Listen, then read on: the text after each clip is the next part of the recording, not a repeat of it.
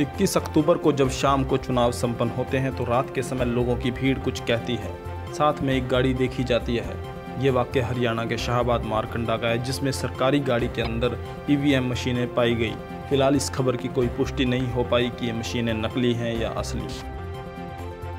भाई यो यो गड्डी पकड़ी। ये रावे और मोहनपुर की है इसमें मशीना। यो देखो फेक मशीना लाद रखी इन्होंने बीच में। वो पीछे रखी पिछली सीट पर देखो। वो देखो लाद रखी। ये ये ये गड्डी नंबर देखो। सेट हो गया भाई H R zero seven J इकताली उन्नी इकताली उन्नी पचहत्तर वोटों का अधिकारी नहीं है। ये देखो जी। लेने की बात ये देखो जी। ये पचहत्तर बार ऐसे नहीं होती जी। ये मशीनें ये फेक मशीनें रखी हुई है अपनी वोट डाल के। ये देखो यहाँ पे गाड़ी पकड़ी है आज।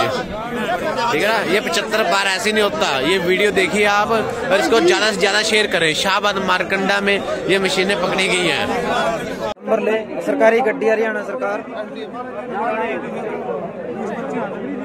बोल का ले। सरकारी गड्डी में दो नंबर की मशीनें पाई गई नहीं बोल का ले।